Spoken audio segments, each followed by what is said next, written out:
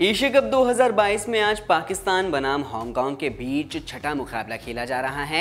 आपको बता दें कि इस मुकाबले में हांगकांग के कप्तान ने टॉस जीतने के बाद पहले गेंदबाजी का चुनाव किया है। पहले बल्लेबाजी करने उतरी पाकिस्तान की टीम ने शुरुआत काफ़ी धीमी की, लेकिन उसके बाद मोहम्मद रिजवान और फ़खर जमन की पारी के चलते पाकिस्तान की टीम ने अपनी लय पकड़ ली। आपको बता दें कि आज पाकिस्तान के लिए दोनों ही बल्लेबाज मोहम्मद रिजवान और फ़खर जमान ने अर्धशत की पारी खेली, जिसमें फ़खर जमान ने तिरपन रनों की शानदार पारी खेली। आपको बता दें कि आज फ़खर जमान ने बाबर आज़म के आउट हो जाने के बाद मुश्किल परिस्थितियों में पाकिस्तान की पारी संभाली, जहाँ उन्होंने मोहम्मद रिजवान के साथ मिलकर दूसरे विकेट के लिए 116 रन जोड़े।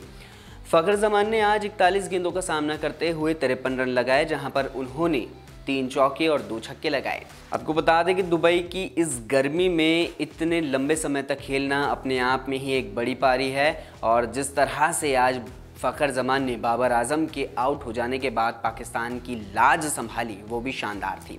फ़िलहाल पाकिस्तान की टीम इस मुकाबले में आगे नज़र आ रही है, जहाँ पर देखना दिलचस्प रहेगा कि हांगकांग की टीम पाकिस्तान को किस तरह से टक्कर दे पाती है। इस खबर में फ़िलहाल इतना ही, बाकी की तमाम खबरों के लिए अब बने रहिए वन इंडिया के साथ।